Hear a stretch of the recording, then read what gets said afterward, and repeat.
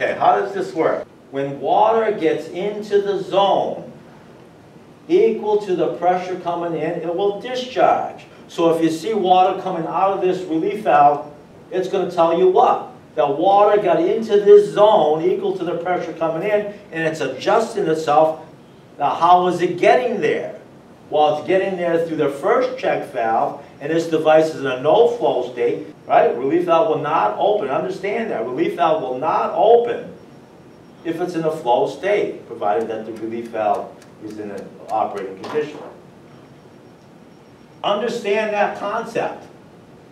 That when water gets into the zone, or let me rephrase that, when water discharges out of the relief valve, that means water is getting into the zone equal to the pressure coming in. We talked about how it gets into the first check valve. Now how else would it get in there? There's only another way to get it in there, is back pressure.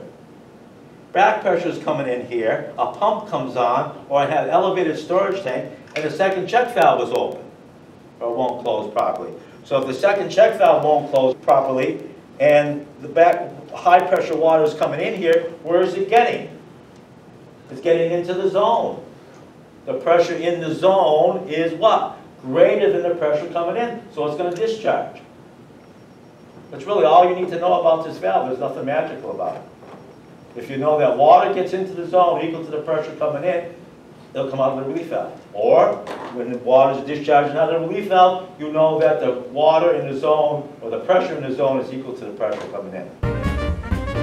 So if you walk up to a device and you see it discharging, what's that telling you?